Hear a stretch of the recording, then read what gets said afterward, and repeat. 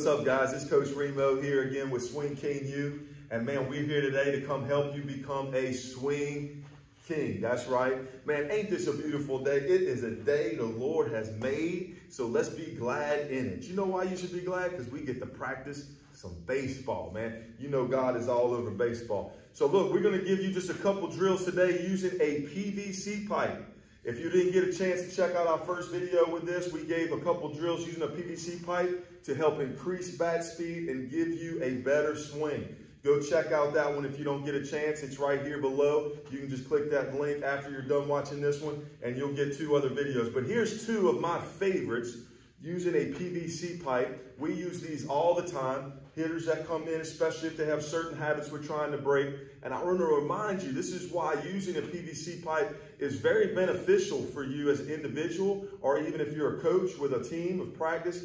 Man, you don't have to have guys just sitting around. You can have them doing these things. And what it does is, for me, it takes old habits that are bad and helps create new habits that are good. And that's one of the hardest things and biggest challenges as coaches is to break some of these habits these players have and help them feel the right movement patterns. You know, when your body learns a certain way to move and a certain movement, it's hard to break. So this is a good way to do it, just using a little PVC pipe or any pipe that's five to six feet. You can use a broomstick if you don't have a PVC pipe, and this will help your swing. All right, y'all ready to go? Let's go ahead and dominate the play today. We're gonna go with the first drill is going to be what we call back foot stride to stretch. It's very simple. You're going to put the pole right in front of your back foot, just like so. We're going to get in a stance. We're going to tell our player, or if you're the player, you're going to go forward with a forward move, load, forward move. And what we want to feel is we want to feel our hands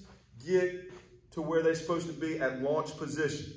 So again, you get it in front of your back foot, get your hands comfortable. You don't want to be up way up here. You obviously don't want to be way down here. Get them where you're comfortable, where you like to start your hands. And then from there, I want you to go to your stride or your forward move to launch.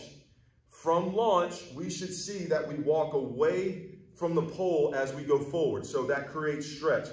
Keep the front side straight. Couple things to look for.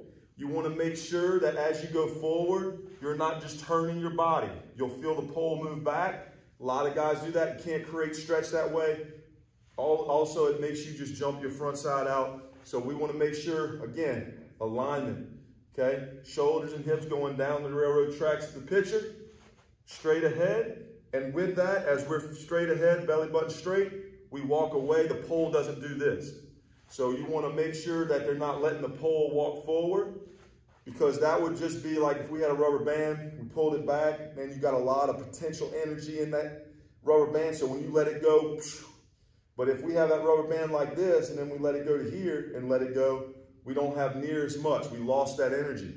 Same way hitting, I can get here and then right when my foot hits the ground, I let my hands come before I initiate the back hip. Well, then we lost the stretch, we lose the energy, all right?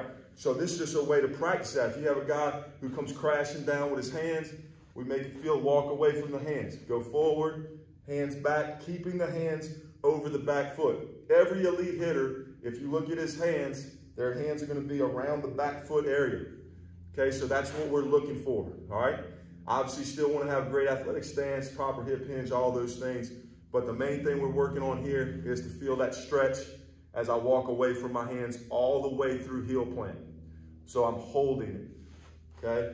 Forward move, holding. Let them feel what that feels like stretch. One thing also to look for, if I show me from the side, make sure we're not letting this dangle here. So someone will try to walk the pole back by doing this. So you'll see that. You see this angle? We're disconnected from our body. Make sure the forearm bicep angle is tight. In other words, just like making a muscle like this, this way, and make sure the hands are right here by the shoulder. Okay, so when I walk away, I maintain that angle, and I just feel it pull tight, and I'm pulling it from my scap, which holds my hands even through the initiation of my back hip.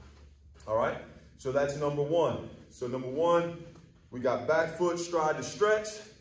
Here's another one of my favorites. So you see a lot of guys have that problem with their elbow They'll get here and they let their elbow go first. We call it a racing elbow. See a lot of young kids with that, even high school kids.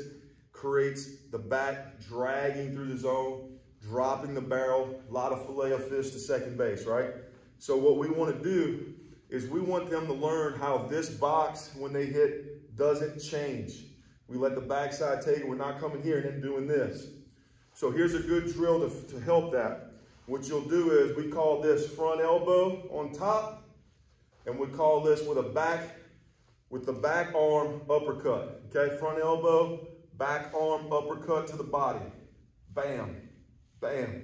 Okay, so what we're gonna do is we're gonna line up the front elbow on top of the PVC pipe. From that position, if you were standing straight, just curl straight up to it. Make sure we don't grab it like this. We curl straight up 90 degrees. Get in our position.